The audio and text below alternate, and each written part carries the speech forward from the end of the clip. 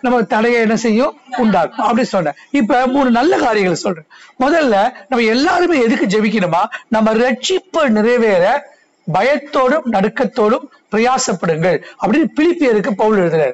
முதல்ல நம்ம ஜெபிக்க வேண்டியது நம்மளுடைய ரட்சிப்புக்காக நாம் ஜெபிக்கிறவர்களாய் காணப்பட வேண்டும். அலையிலுயா. எபிரேயர் ஒரு வசனம் இருக்குது. பார்க்காம சொல்லுங்க. ஆரம்பத்தில் கொண்டிருந்த நம்பிக்கையை முடிவு பரியந்தோ நம் நிலைத்திருப்போமானால் நாம் ரட்சிக்கப்படுவோம். அப்பனா நம்ம ரட்சிப்பு என்பது நம்மளால உண்டானது அல்ல அது தேவனுடைய ஈவு.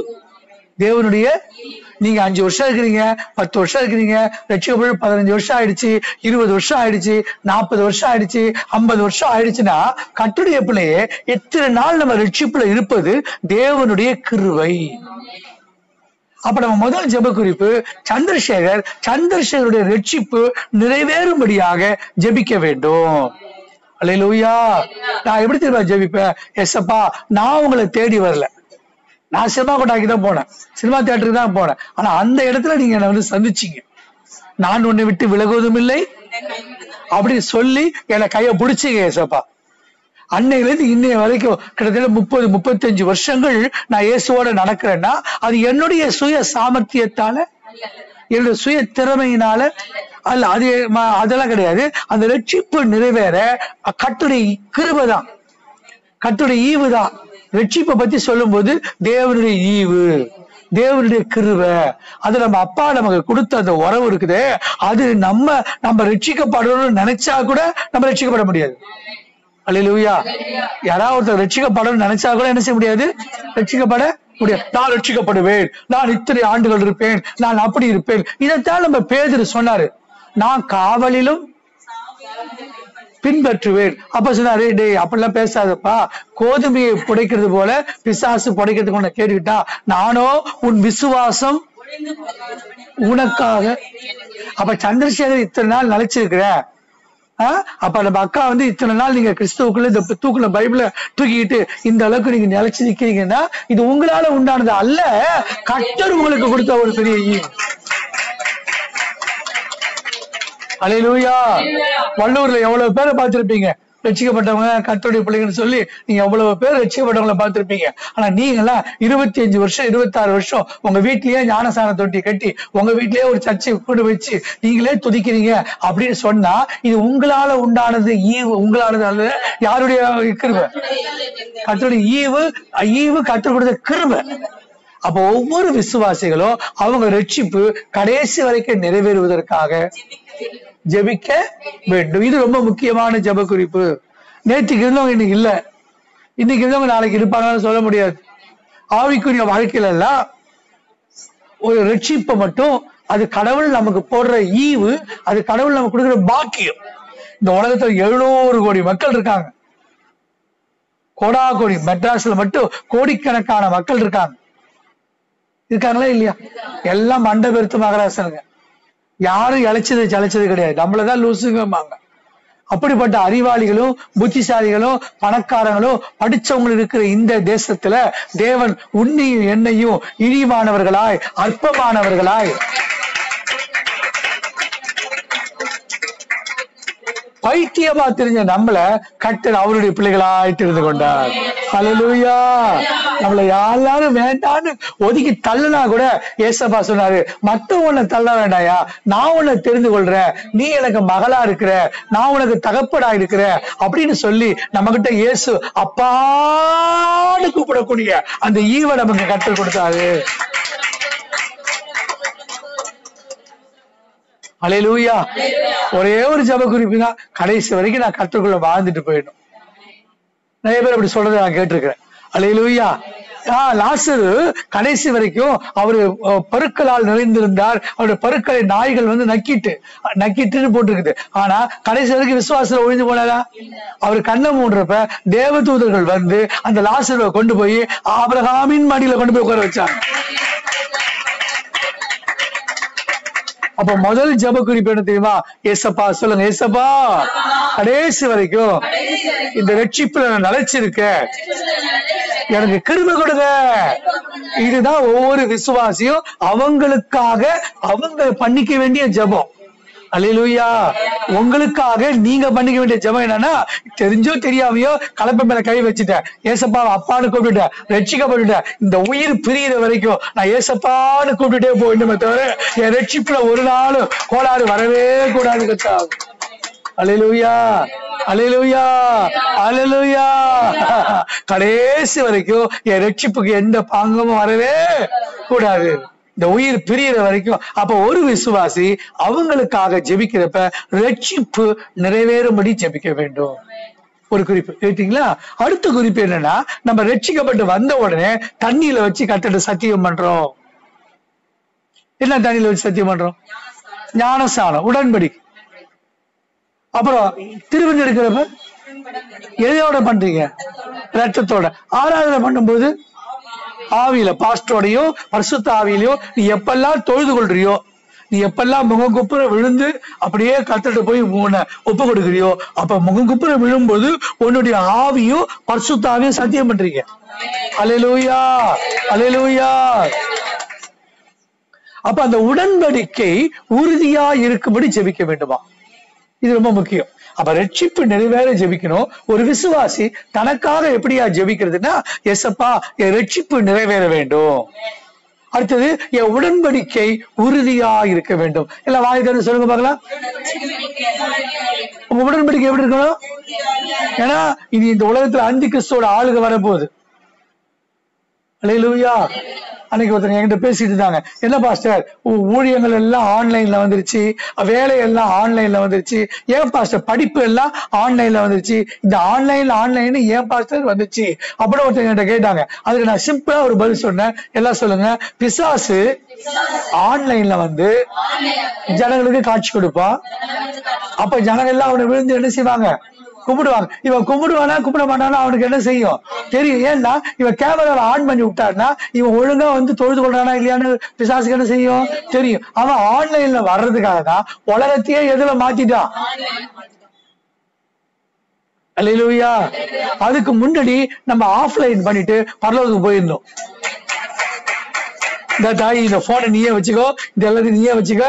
நான் என் மனவாளன் இயேசு இருக்கிறார். நான் அவரோட என்ன செஞ்சிருவேன்? என்ன பாஸ்டர் வேலை எங்க? ஸ்கூல் காலேஜ் ஆன்லைன்ல அப்புறம் வந்து சார் இப்ப இன்னும் எது எதுதான் இது பாய ஆண்டு தரங்க நான் உங்களுக்கு ஊட்டி விடுறேன்னு சொல்லி அதுக்கு கூட ஆள் வந்துருவாங்க. துணி ஆன்லைனு பணம் பணம் வந்து என்ன செய்யாதீங்க? ஆளுக்கு ஆன்லைன்ல ஒரு நூறு ரூபாய் பாஸ்ட் போட்டு விடுங்க. பணத்தை இதுல ஆயிடுச்சு. ஆன்லைன் அப்ப எல்லாம் ஏன் பாஸ்ட் ஆன்லைன் இந்த உலகம் கொரோனா வந்து என்ன பண்ணுச்சுன்னா உலகத்தை எதுக்கு மாத்துச்சு? அட மக்களா கொரோனா மாத்துல பிசாசானவன் இந்த உலகத்தை இப்படி ஆன்லைன்ல மாத்தினா. எதுக்காக பாஸ்டா ஆன்லைன்ல மாத்துறான்னா பிசாசு ஒருத்தர் உட்காந்துப்பான் அவன் அப்படியே பிராட்காஸ்ட் பண்ணி எல்லா சமூக வலைத்தளங்கள்ல ஒளிபரப்பு பண்ணுவாங்க. அப்ப ஜனங்க எல்லாரும் வந்து அந்த பிசாசு தான் கடவுள்னு கும்பிட்டாதான் அவங்களுக்கு சோறு கிடைக்கும். அவங்களுக்கு துணிமணி கிடைக்கும்னு வெளிப்படுத்துற விசேஷத்துல போட்டிருக்கா? போடலையா? போட்டிருக்குது. அல்லேலூயா அல்லேலூயா.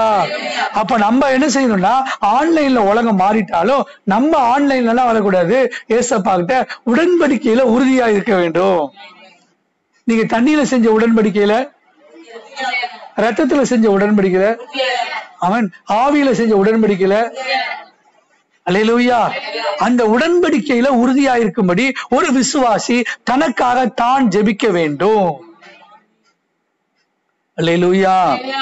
மூணாவது ஒரு குறிப்பு இருக்குது. அது என்ன குறிப்புன்னா இது ரொம்ப முக்கியமான ஒரு குறிப்பு. ஒவ்வொரு விசுவாசிகளும் பரிசுத்த ஆவியின் வரத்தை பெறுவார்கள். இது மூணாவது ஜெப குறிப்பு. ஒரு விசுவாசி அவங்களுக்காக ஜெபிக்கிறவ. முதல்ல இருக்கு ஜெபிக்கணும்? வெறும் மொட்டையா ரட்சிப்புனா கடைசி வரைக்கும் ரட்சிப்பு நிலைத்திருக்கும்படி ரட்சிப்பு நிறைவேறும்படி ரட்சிப்பு கடைசி வரைக்கும். அந்த கடைசி மூச்சு போய் கண்ணை வந்து மூடுறானுங்கல்ல உசுறு போயிடுச்சுன்னு சொல்றான்ல அது வரைக்கும் நீ அலையிலியா சொல்லிட்டு தான் போய் சேரணும். அது வரைக்கும் அலையிலியா இருக்கணும். அது வரைக்கும் பிரைஸ் தள்ளாடு இருக்கணும். அலையிலூயா அப்ப அந்த ரட்சிப்பு ஸ்டார்ட் பண்றது முக்கியம் இல்ல. அந்த ரட்சிப்பு கடைசி வரைக்கும் நம்ம வாழ்க்கையில என்ன செய்யணும்? இருக்கணும். அதுக்கு ஜெபிக்கணும். ரெண்டாவது உடன்படிக்கை. நேத்தோட நான் சொன்ன வார்த்தை காத்தோட போயிடுச்சுன்னு அங்கங்க தொடச்சு போட்டு அங்கங்க ஓடிட்டு இருக்க கூடாது ஒரே ஒரு சத்தியம் தான் பண்ண. அந்த சத்தியத்தை புருஷன் பொண்டாட்டி உறவு? ஒரே ஒரு நாள் சத்தியம் பண்ண. அந்த உறவுல கடைசி வரைக்கும் என்ன செய்யணும்?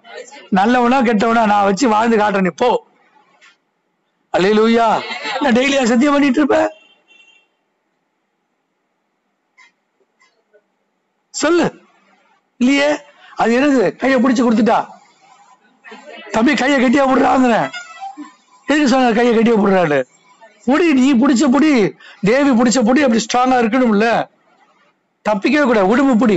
என் பொண்ணுங்கெல்லாம் ஒருத்தன் கைய பிடிச்சதுன்னா ஸ்ட்ராங் புடி தான் அலையிலுயா எங்க எஸ்கேப் ஆகுது தப்பிச்சிருவானே என்ன அப்ப அது உடன்படிக்கை. அது என்னது உடன்படிக்கை. அப்ப உடன்படிக்கையில ஸ்ட்ராங் ஆயிடு எதுக்கு அது ரெண்டாவது குறிப்பு என்ன இருக்கு உடன்படிக்கை எப்படி இருக்கணும்? உறுதியா இருக்க வேண்டும். உடன்படிக்கை என்ன இருக்கணும்?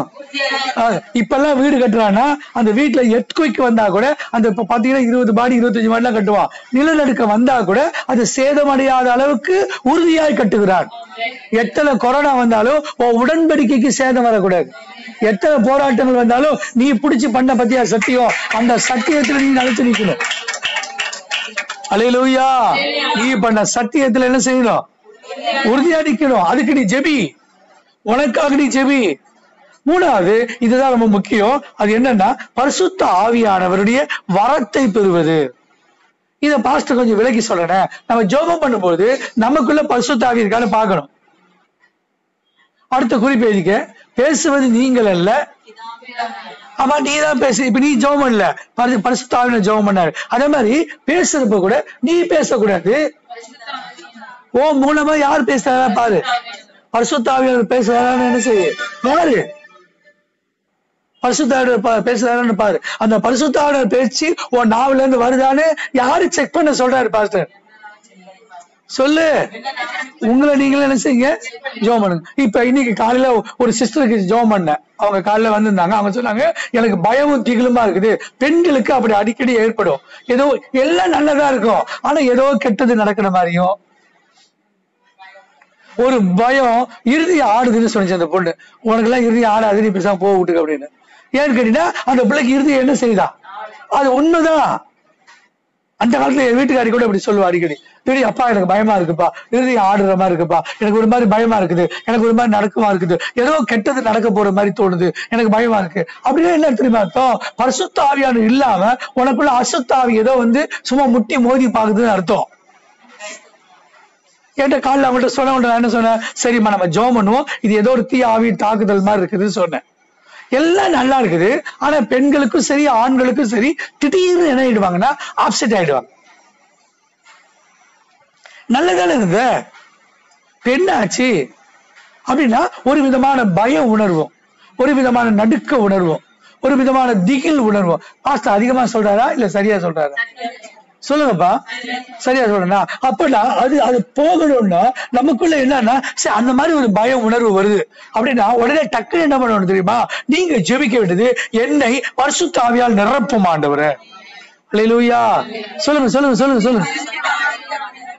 என்ன பரிசுத்தாவின் அபிஷேகத்தால் என்ன செய்யுங்க? என்ன நிரப்புங்க கர்த்தாவே. Fill with the spirit spirit.